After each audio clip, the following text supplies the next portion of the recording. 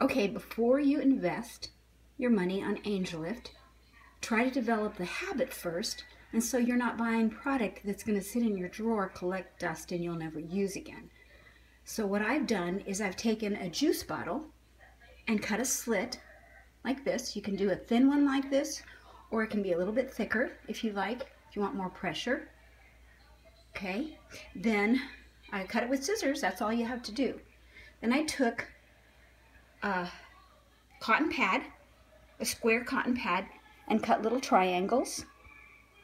Took the triangle and put it on this side, folded the top over, turned the two sides over, and taped it with simple scotch tape. You do that on both sides.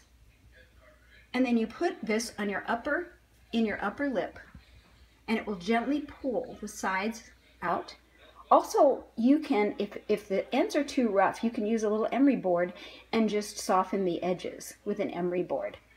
You put this in, and then you follow the directions that AngelLift gives you. You get 30 minutes a day on the top, maybe 30 minutes on the bottom, and rest. Do not talk, do not eat using it.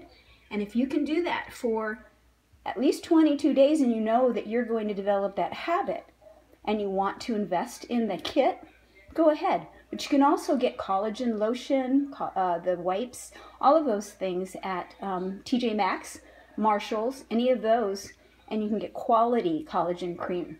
So I'd say give it a try first, see if you're going to be using it, and you can also see the results by using your own homemade AngelLift device.